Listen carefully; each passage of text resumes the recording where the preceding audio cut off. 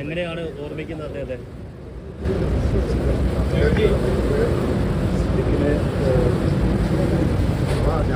പറയാൻ ഒരു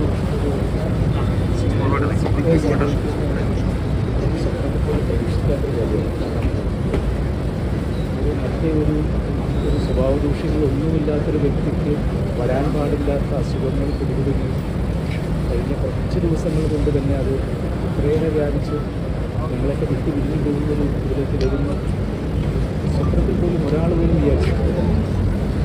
കഴിഞ്ഞൊരു ഇരുപത്തിനാല് മണിക്കൂർ കൊണ്ട് ഈ വാർത്ത കേൾക്കുമ്പോൾ എല്ലാവരും വളരെ ഞെട്ടലോടുകൂടിയാണ് കാണുന്നത് അങ്ങനെ പറയേണ്ട അറിയില്ല. കാരണം ഇതിന് ഞങ്ങളുടെ സൗഹൃദം എന്ന് പറയുന്നത് നാൽപ്പത് നാൽപ്പത്തിയഞ്ച് വർഷങ്ങൾക്ക് മുമ്പുള്ളതാണ്. അന്ന് ഇവിടുത്തെ പുല്ലേപ്പടി ജംഗ്ഷനിൽ വൈകുന്നേരങ്ങളിൽ ഒത്തുപോകുന്നത് സിദ്ദിഖ് ലാൽ ഞാനുണ്ടാവും. റഹ്മാൻ സൈനുദ്ദീൻ അൻസാർ പ്രസാദ് അങ്ങനെ ഞങ്ങളെല്ലാവരും കൂടിയിട്ടാണ് ഒരു വൈകുന്നേരങ്ങൾ ഒത്തുകൂടാറ് അന്ന് സിനിമാ സ്വപ്നങ്ങളാണ് എല്ലാവരുടെയും മനസ്സിൽ. പക്ഷേ പിൽക്കാലത്ത് ഇങ്ങനെ വരാൻ സാധിക്കുമെന്ന് ഒരുമിച്ച് വർക്ക് ചെയ്യാൻ പറ്റുമെന്ന് വിചാരിച്ചിട്ടില്ല. അന്ന് കലാഭവനിലായിരുന്നു ഞങ്ങളെല്ലാവരും.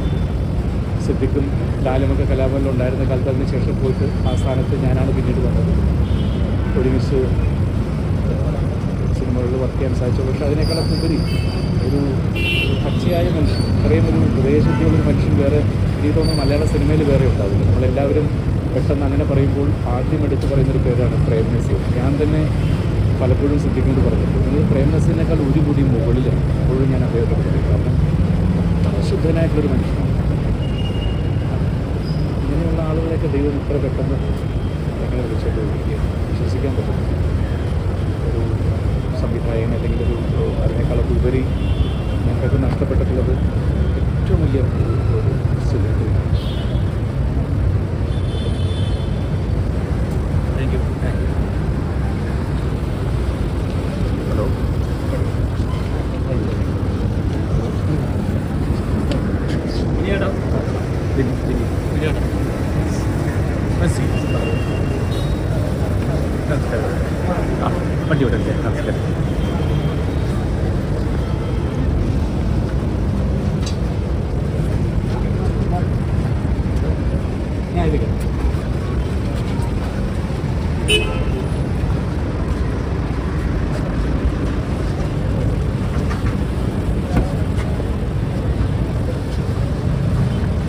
субтитры